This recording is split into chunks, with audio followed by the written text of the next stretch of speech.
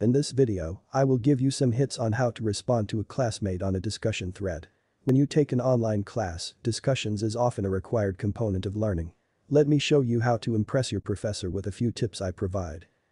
1. Plan your response. Read carefully on what the student has articulated. Find out where the student has gone astray or lacks specificity. How can you help student make an improvement?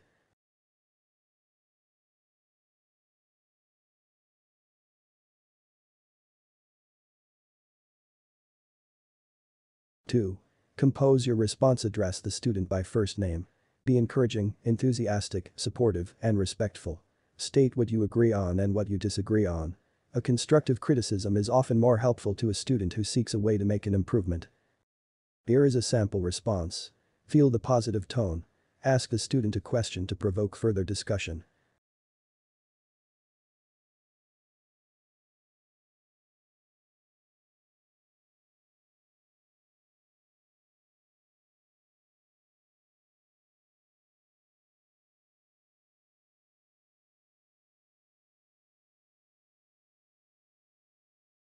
Four.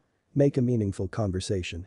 Keep the conversation going by checking the discussion thread often and reply. Continue to respond if the student has replied.